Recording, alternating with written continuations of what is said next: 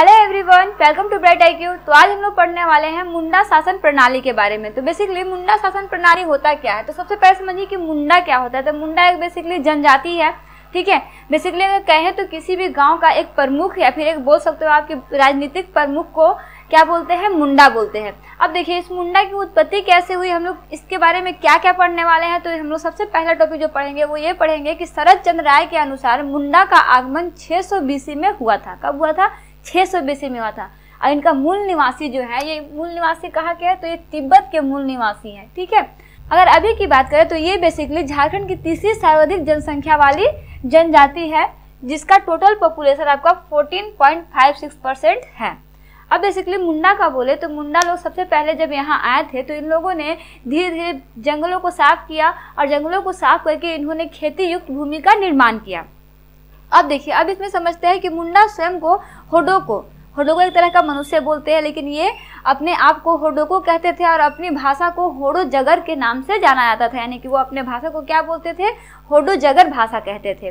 ठीक है? अब नेक्स्ट पॉइंट में इसे देखते हैं तो इसकी भूमि को खुटकटी भूमि कहा जाता है। इनके द्वारा जो भूमि निर्मित किया गया था, जो ये भूमि बनाए थे खुद से, वो अपने भूमि का नाम क्या रखे थे? तो उस भूमि को बोलते थे ये खुटकटी।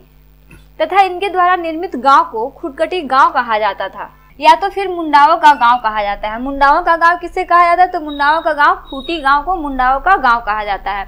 ये मुंडारी भाषा का प्रयोग करते हैं, ठीक है? मुंडा जनजाति किस भाषा का प्रयोग करते हैं? तो ये मुंडारी भाषा का प्रयोग करते हैं।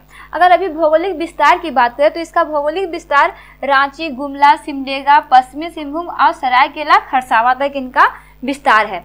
अब देखिए नेक्स्ट पॉइंट देखते हैं कि मुंडा के गाँव के लोगों को हाथू कहा जाता है। जैसे मुंडा जो एक प्रणाली बना, एक इनका जाति बना तो इनका कुछ ना कुछ तो नाम होगा। तो इनके गाँव के लोगों को हाथू कहा जाता है तथा इनके द्वारा जो परिवार बनता है, उन परिवार को खूट कहा जाता है। ठीक है? तो ये दो तीन पॉइंट जो है ना, वो आपको पॉइंट को नोटिस करना है इसे अच्छे से रिविजन कर लेना है। अब देखिए, मुंडा राज की स्थापना। मुंडा राज की स्थापना कब हुई और कैसे हुई तो देखिए, ये आपका सबसे इंपॉर्टेंट है, इसे आप अच्छे से रिविजन कर लीजिएगा। तो एक नाम है यहाँ पे, सीरा मुंडा या सीता मुंडा। दोनों भी बोला जाता है, सीता मुंडा या मुंडा के नाम से जाना जाता है। ठीक है, मुंडा की स्थापना किसके द्वारा हुआ है? तो ये सीरा मुंडा या फिर मुंडा के द्वारा हुआ है, जिसका प्रशासन सुतियापन थे। ठीक है, और यही, और इन्हीं के नाम पर मुंडा राज का नाम सुतिया नागखंड पड़ा। तो आप इसे अच्छे से रिवीजन कर लीजिएगा कि सुतिया नागखंड क्या है या तो फिर मुंडा की स्थापना किस प्रशासन के अनुसार हुआ है। तो वो आपका हुआ है सुतिया राजखंड के द्वारा। तो ये था आपका मुन्ना शासन प्रणाली से रिलेटेड कुछ बेसिक इन्फॉर्मेशन इन सारे इन्फॉर्मेशन को आप बेसिक के लिए यूज़ कर सकते हैं। नेक्स्ट वीडियो में हम लोग इससे रिलेटेड कुछ बहुत ही इंपॉर्टेंट टॉपिक को स्टडी करेंगे, जो आपके एग्ज़ाम पॉइंट ऑफ़ व्यू से बहुत ही ज़्यादा इंपॉर्टेंट होंगे तो उस वीडियो को मिस मत कीजिएगा। और इससे पहले जो हम लोग झारखंड के बारे में स्टडी किए हैं, उसका लिंक आपको डिस्क्रिप्शन बॉक्स में दिया हुआ है, वहाँ से जाकर आप संपूर्ण वीडियो को स्टडी कर सकते हैं। तो मिलते हैं नेक्स्ट वीडियो में एक इंपॉर्टेंट टॉपिक के साथ।